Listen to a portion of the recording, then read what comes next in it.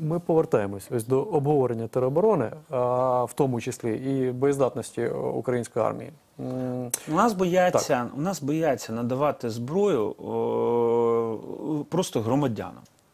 Розумієте, у нас ну, елементарно немає зараз нормального закону про самозахист. Про яку територіальну оборону може йти мова? Тобто, якщо ну, просто подивіться. Тобто, фактично, що ми говоримо? Що ми створюємо невеличкі загони озброєних людей, які що? Які повинні захищати свою домівку, в тому числі і державу у випадку е, агресії ворога, або у випадку надзвичайних ситуацій е, захищати себе, своїх рідних і так далі. Централізовано. Ну, ви ж розумієте, е, що тут є цілий ряд Звичайно. ризиків і небезпек, які держава усвідомлює. Я думаю, що тут це важливе питання, треба піднімати питання територіальної оборони.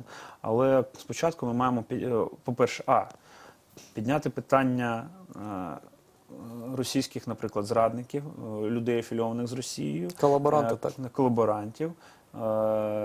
Треба провести чистки певні, от, які СБУ періодично проводить. У нас щомісяця когось ловлять там з високопосадовців і військових, зокрема, от як командир, як начальник Єврейського полігону Так. частини. Да? Тобто когось ловлять постійно. Тобто це питання. Тому що питання, кому будуть ці маленькі партизанські загони підпорядковуватись, хто буде ними керувати? Чи не будуть вони використані, наприклад, як е, організована структура під час виборів? Тому що ви ж розумієте, що це люди не в ППД сидять. Звичайно, а це люди, які постійно ну, тобто тут є багато підпорядкування, питань. командування і контролю це основні. Тут ну а, просто що добровольчі ініціативи є серед громадян. Це Ну це ясно, але серед громадян які є? Дайте нам зброю. Ну, власне, дайте нам зброю, дайте нам полі... дайте, да, ну правильно, дайте нам зброю, дайте нам. Ну вони все одно, Ну, так ну, люди так законно, об'єднуються. законно. законно. Тобто Карабіни. нарізна карабіни, так. Розумієте, нарізна карабіни. Ну от тут, будь ласка. Тобто це люди збираються, відпрацьовують якісь тактичні дії, е, злагодженість відпрацьовують.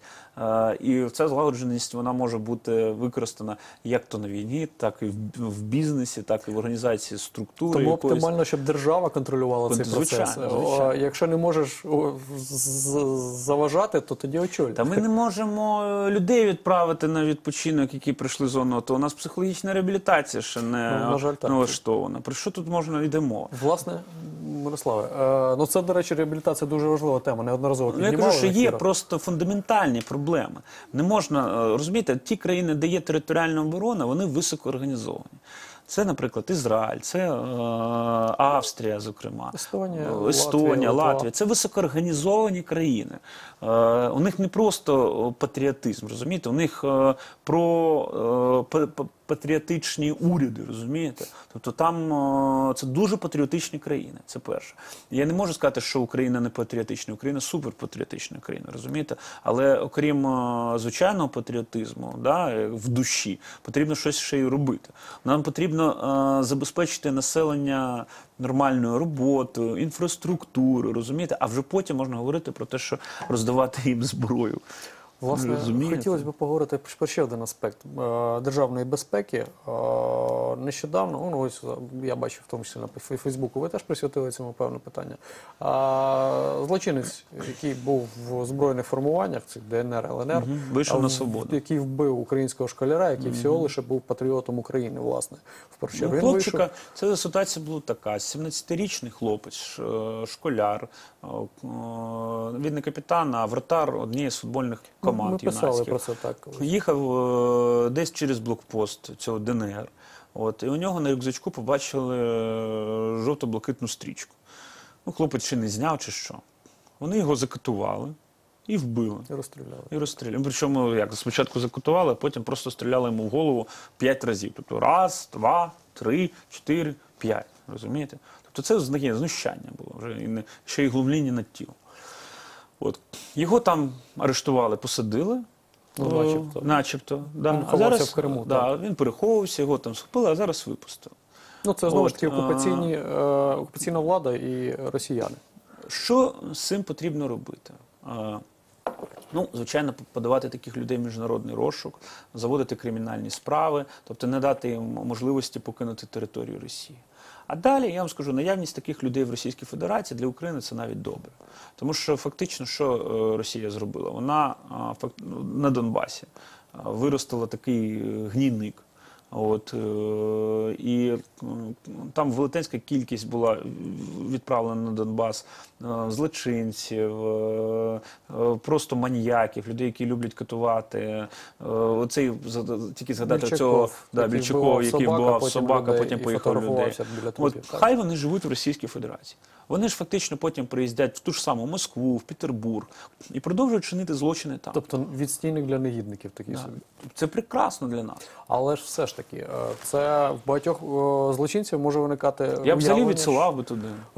уявлення, що ти скоїв тут злочин і спокійно можеш сховатись на території Росії. Ну прекрасно, так хай вони тікають туди. Я вам скажу, як свого часу зробила, наприклад, Грузія, позбавилася, наприклад, злочинців. Знаєте як? Вона взяла всіх, типа, це вори в законі були. Вони відправили їх в Україну і в Росію. Але це значить, що кожен злочинець буде мати на увазі, що він завжди має резервний полігон, е, аеродром в Росії. Ні, там було так, в Грузії так вчинили.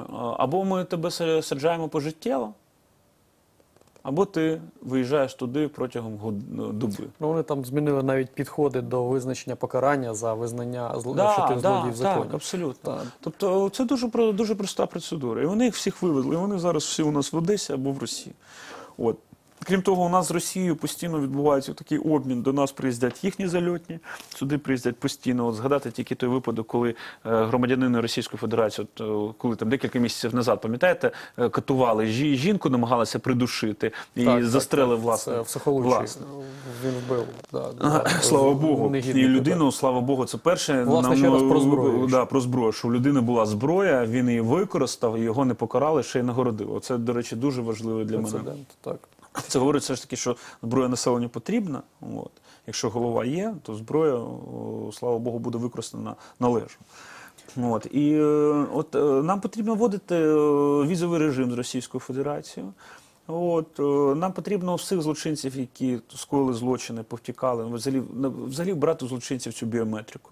От, і хай вони тікають в Російську Федерацію без питань. А каральні взагалі структури, які ну як каральні, скажімо так, Вивозити і е, ловити цих людей на території Росії, ви в маєте тому на числі, увазі? або де-інде А за, ми за маємо межами таку України. змогу, а ми маємо такі Ну, ось хотілося б бюджети, про це такі поговорити. бюджети і ресурси. Навіть Ізраїль, це е, коли о, почав виловлювати, наприклад, е, в- о, гітлерівських о, злочинців нацистської Німеччини, е, він це робив вже піз- пізніше, Ну, розумієте? От. Е, Це велетенські шалені ресурси, шалена робота має бути перероблена, шалена робота. І ще потрібно розуміти, що вона незаконна. Здебільшого там Ну, дуже часто під наркотиками вивозили людей, садили в, для, в літак. Ну і- це до того, що умовний Гіркін там і так далі повинен розуміти, що він не постріляє тут, повоює на сафарі, а потім поїде Я далі думаю, додому і розповідати помре. на Я думаю, що Гіркін помре раніше. ніж- Найближчим часом? Да. Ну, не найближчим, ну і складно сказати, але я думаю, що він закінчить дуже погано. тобто свідок. І як свідок, і як людина, що постійно підбиває радикальні сили в Росії на революцію, от, на, на збройний, збройний супротив, і взагалі як терорист. Тобто він о, такі люди дуже швидко погано кончають. Он е, Лєсін помер. Подивіться, Росія постійно проводить такі зачистки. До речі, якісь канікули зараз пішли. Е, я нагадаю, був свого часу період, коли кожен ваш візит в студію нашу якраз відзначався з смертю когось із бойовиків е, на Донбасі. Ну або про російських бойовиків А сьогодні наших, СБУ або... затримала одного з бойовиків з Луганської області. Так що На ваш погляд, скільки лишилось Захарченку, е, Плотніцькому і, і же з ними? Ну, в першу чергу, цим двом персонам. мені дуже не ці мені не цікава доля цих персонажів. Вони всі будуть вбиті. От ви побачите, ніхто з них не помре своїм своєю смертю. От вони всі будуть знищені. Якщо вони потраплять в, в тюрми, неважливо українські чи російські, їх е, вони будуть знищені там, так чи інакше. Занадто багато знають. Занадто багато знаєте, занадто багато людей е, постраждало, занадто багато людей о, було закатовано, було вбито, е, пограбовано. І дуже багато людей хотіли, щоб е, ці люди просто зникли з планети Земля.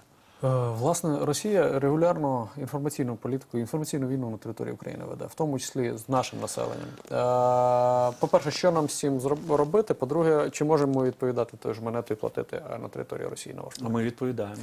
Ми постійно намагаємося заводити туди наші інформаційні ресурси, е, е, використовуємо інтернет-можливості, е, постійно, тобто зараз так чи інакше намагаються транслювати українське і радіо, і телесигнал на той бік. Ну, це, на окупованій території. на- а на якщо говорити про Росію?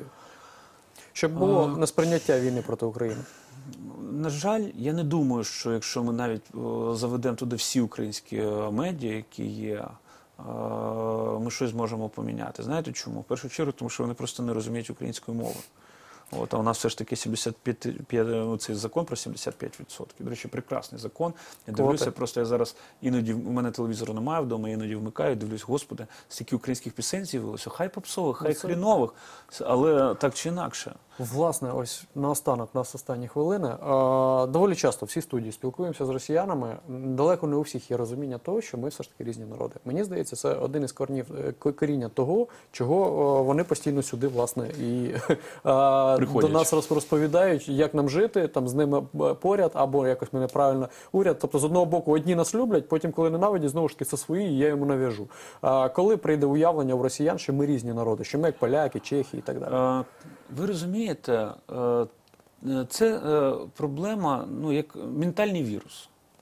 От коли, наприклад, бурят на Донбасі каже, я русський, в мене викликає когнітивний дисонанс. Ну, тобто моя психіка відмовляється сприймати цю реальність. Коли е, якийсь удмурт, наприклад, або монгол, або там чечен, чечен, наприклад, каже, я русський, ну, треба зрозуміти, чи взагалі е, нормально у цієї людини е, взагалі з свідомістю, з розумінням, що відбувається, з реальністю стосунки. Ну, те саме з, з України. Тобто, коли вони приходять і кажуть, ми один народ, ну окей, чуваки, один народ визначається в першу чергу єдиною мовою. От розумієте, у нас мови різні. Ну, От Сполучені Штати вони кажуть, ми один народ. Хоча у нас є різні етнічні групи. От. І у них мова одна. А у нас мови різні. У нас українська, у них російська. Це в першу чергу. У нас кордони різні. Е, у нас культурні, е, ну, у нас е, вся наша культура пов'язана тільки в тих періодах, де вони нас захоплювали. Розумієте, захоплювали і намагалися сюди внести свої, е, свої частинки своєї культури. Тобто історія Це окупації. Це Історія спільна- окупації, ось наша спільна, спільна історія. На все інше у нас різне. Власне, наш ефірний час, на жаль, вичерпаний. Я думаю, ми а, ще неодноразово тут зустрінемось. Дуже дякую за візит. З нами у нас гостях був пан Мирослав Гай. Пильнуйте себе, до зустрічі в ефірах. Далі багато цікавого.